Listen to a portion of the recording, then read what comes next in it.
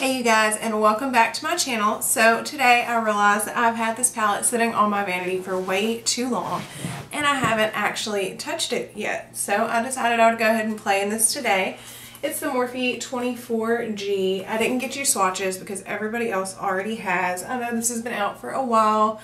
Everybody has reviewed it but I just wanted to do a little quick natural you can wear it to work kind of glam with this palette. And I went ahead and added a bright lippy because, you know, Crate Finds came out with new colors, so they're going to be in every video. Sorry, guys. But about this palette, it's got 24 colors and it's got kind of a pink vibe to it. And these pans are massive.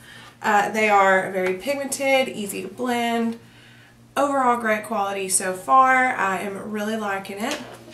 Didn't have any issues. But today we are just going to do a quick voiceover tutorial. I'll talk to you a teeny bit at the end. And that's going to be it just so you guys can see how this palette performed. See how I made this look.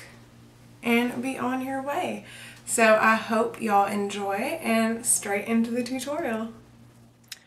Okay, so first we're going to go into this tan transition shade and I'm just going to take this on a fluffier brush and just put it all over the lid to set the eyeshadow primer.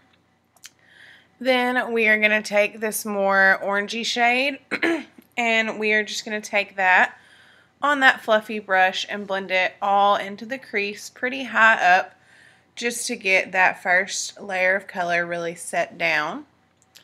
Then we're going to take this brown and I'm going to take that on a smaller natural hair brush and put that in the outer corner just to deepen up the crease and get a good bit of dimension going. Then after that we're going to take this shimmery pink shade just on our finger because let's be real that's easier and just lay it down all over the lid and it is gorgeous. Then we're going to take this bright pink and on a small brush just line the lower lash line with that pink color. I was curious about it but I didn't want it to be the main focus of the look. Then I'm going to take this really light shimmer shade here and I'm just going to use that with a small pencil brush.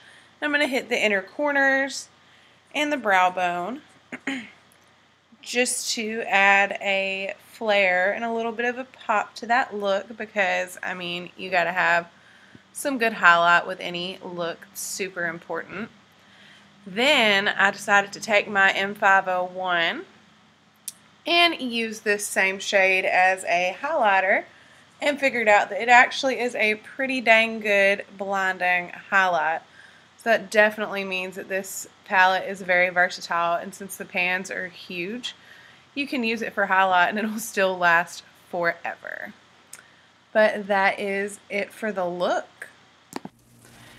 Okay guys, so that is it for this look. This palette is definitely up to Morphe's usual standard. I'm so excited about it. It turned out so cute. And this lippy is so gorgeous and it feels perfect on my lips. So that is it for today's video. I hope y'all enjoyed and I will see you in a couple of days. Bye you guys.